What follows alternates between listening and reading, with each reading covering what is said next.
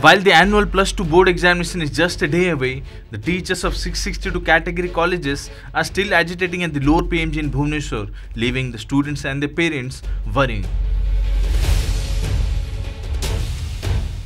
The protesting teachers have threatened that they would not participate in the examination as well as evaluation process if their demands are not fulfilled. ଦେଖନ୍ତୁ ରାଜ୍ୟର ବାସ୍ତରୀ ଭାଗ ଶିକ୍ଷା ଆମେ ବହନ କରୁଛୁ। ଏହା ନିଜେ ସରକାର ଆଠ ଦିନ ତଳେ ସ୍ୱୀକାର କରିଛନ୍ତି ଏବଂ ମଧ୍ୟ ପ୍ରକାଶ କରିଛନ୍ତି। ତେଣୁ ଦୁଃଖ ଓ ପରିତାପର ବିଷୟ ଯେତେବେଳେ ଆମେମାନେ ତେର ତାରିଖରୁ ଆଜି ପନ୍ଦର ଦିନ ହେଲା ବସିଲୁଣୁ ଏ ସରକାରଙ୍କ ରାଜ୍ୟର କୁମ୍ଭକର୍ଣ୍ଣ ନିଦ୍ରା ଭାଙ୍ଗୁନାହିଁ ଏବେ ବାସ୍ତରୀ ଭାଗ ପିଲା ପ୍ରଭାବିତ ହେବେ ଏବଂ ଯେଉଁ ଆମର ସେଣ୍ଟର ସବୁ ହେଇଛି ପ୍ଲସ୍ ଟୁ କାଉନସିଲ୍ର ପରୀକ୍ଷା କରିବା ପାଇଁକି ତାର ସତୁରି ଭାଗ ସେଣ୍ଟର ଆମର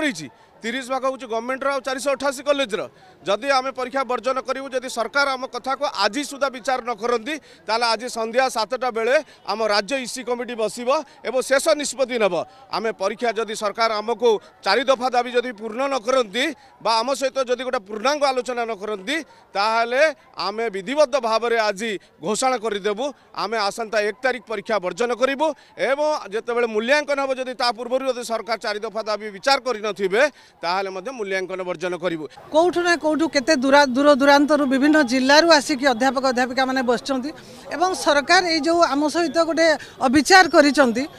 ତାହା